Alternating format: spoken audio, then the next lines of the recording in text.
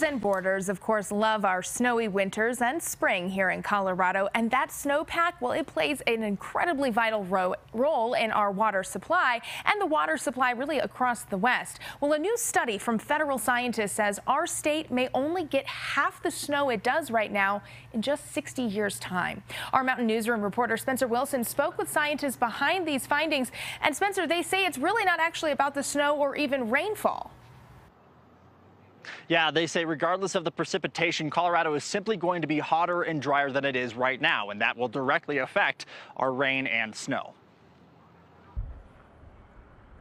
It's not good news for Colorado, especially the high country, where snow is a major part of the economy. Just imagine your favorite ski resort with half the snow. Co author Katrina Bennett says her team looked at five indicators to consider how the climate in Colorado is changing.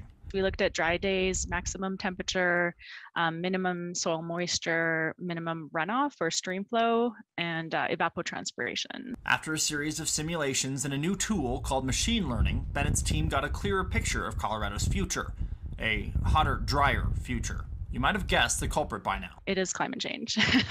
and just to be sure, they modeled out different levels of precipitation if we were in a warm, wet climate or a hot, dry one but both show decreases in snowpack. We had that earlier runoff occurring, and then a hotter summer means more water just being evaporated from the land surface, from the reservoirs, from these traditional reservoirs that we used to have that would hold our snowpacks, hold our water over the year so we could use it for agriculture and other purposes. Those are becoming less and less available to us as we look ahead into the future. Bennett said this is more a warning to our decision makers for what's to come. I'm not saying that there will be no snow in the future, but overall we'll see this strong reduction projected.